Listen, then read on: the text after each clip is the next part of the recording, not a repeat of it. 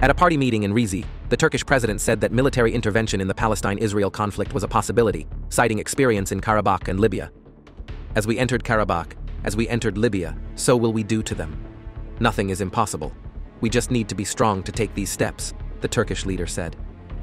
Local media outlets accompanied the news with a reminder that in November 2023, Turkey's parliament has extended for a year the mission of the Republic's armed forces in Azerbaijan as part of the joint Russian-Turkish Monitoring Center.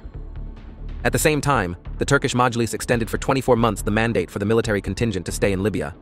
He is there on the basis of an agreement signed between Turkey and the Government of National Accord on military cooperation.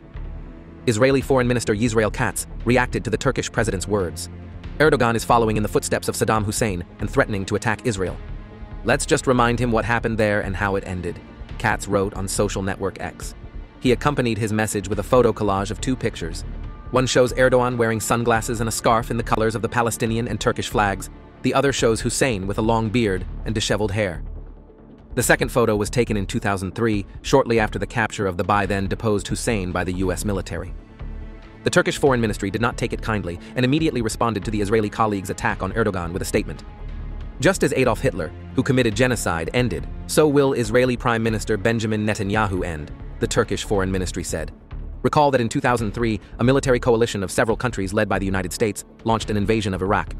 The operation, dubbed Iraqi Freedom, was carried out without authorization from the UN Security Council. The US has accused Iraq of hiding chemical weapons from international inspectors and continuing to produce weapons of mass destruction. The US military eventually killed the Iraqi leader's two sons and his grandson. The Americans seized Saddam Hussein as the head of the country and handed him over to his political opponents in flagrant violation of international law. Saddam Hussein was then hanged. Saddam's death, however, and this was expected, did not make Iraq any better. However, it is no secret that countries where the US comes in rarely find peace and order. This is not in the plans, in the real plans of Washington, not in the plans voiced by spokesmen. Chemical weapons, like weapons of mass destruction, have never been found. However, Trying to threaten the leader of a NATO member state with the second most powerful army in the alliance is something new.